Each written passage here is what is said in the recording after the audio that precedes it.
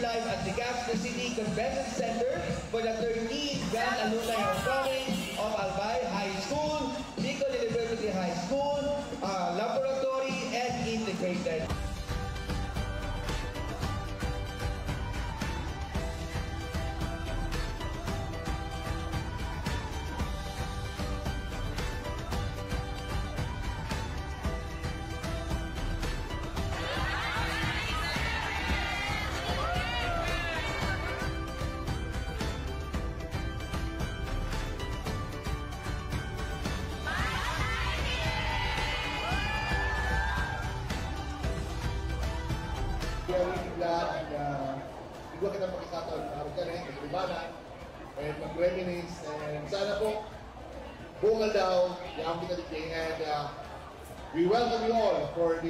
13th alumni homecoming.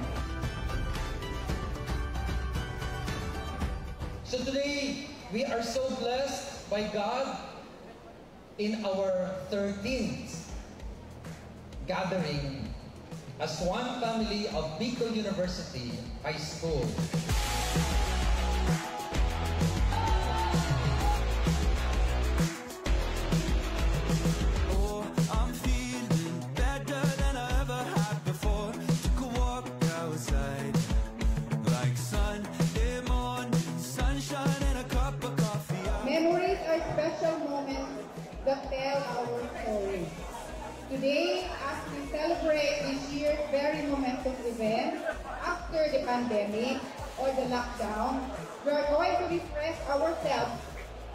Where we started our high school life, our journey together way back 1916, present 2023.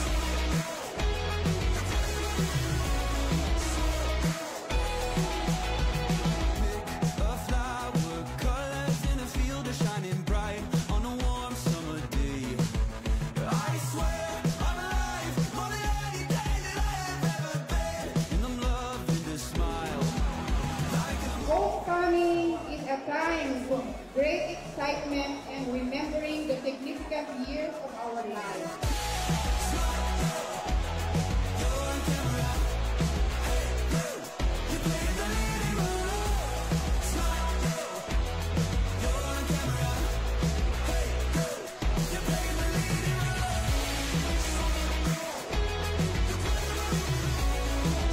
feels good to be home. After all, home is where the heart is.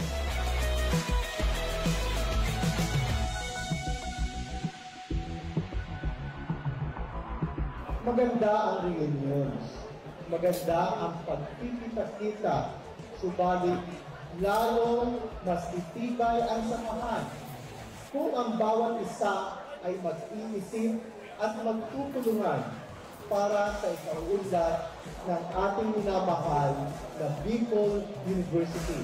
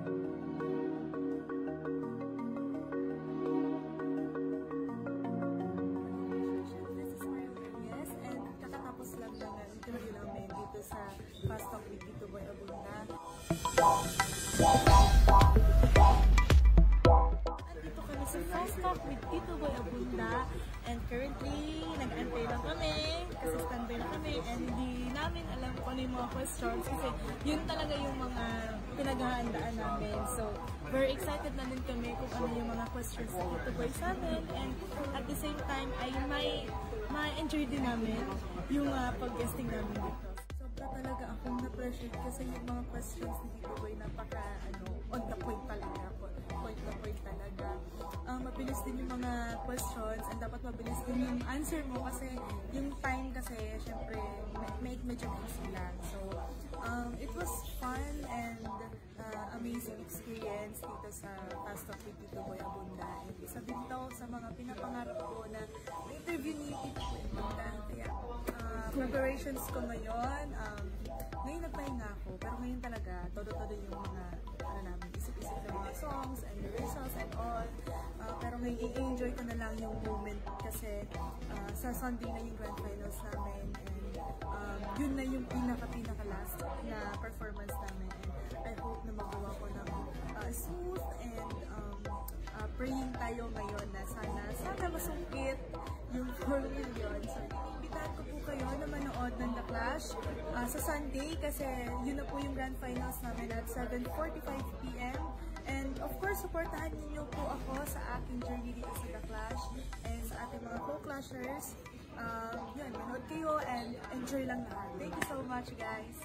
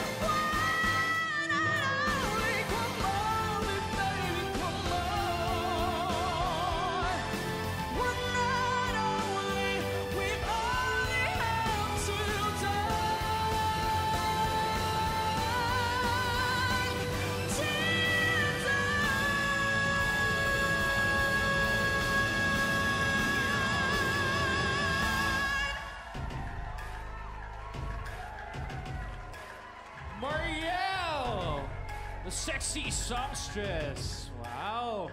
Strong start. Good job, Marielle. Tatanungin natin ngayon ang judges kung anong masasabi na sa performance mo.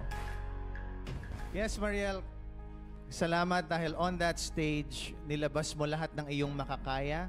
Pinakita mo na this can be a night na maaalala ka. At this point talaga ang hinahanap na ngayon, aside obviously sa isang napakagandang performance, is actually magic. Or in another word, inner factor, you know? Madams, Mariel, the last time na merong kumanta niyan dito, yung kanta na yan, ah, talagang simula pa lang, yung, alam mo yung, nakakatakot na parang, inaano ka ba? Yung ganon. So next time, pag pumasok ka dito, siguro yun yung hinahanap ko pa na more na yung kakainin mo kami ng live at saka talagang parang you own the stage. Yoon, Mariel. Pero bibigyan kita ng score na ting, ting. Oh, literal, ting, ting. Gusto mo ba magwales, Mare? Mamaya na. Mamaya. Hello, Mariel. Okay, ah, yung One Night Only, napakalaking song yan eh, di ba? It's such a strong song. What I felt kanina while you were performing, you tried your best to be bigger than the song. I feel that it just, it didn't come out so naturally from you. I was waiting for you to really blow me away. But don't get me wrong, still, you performed so well.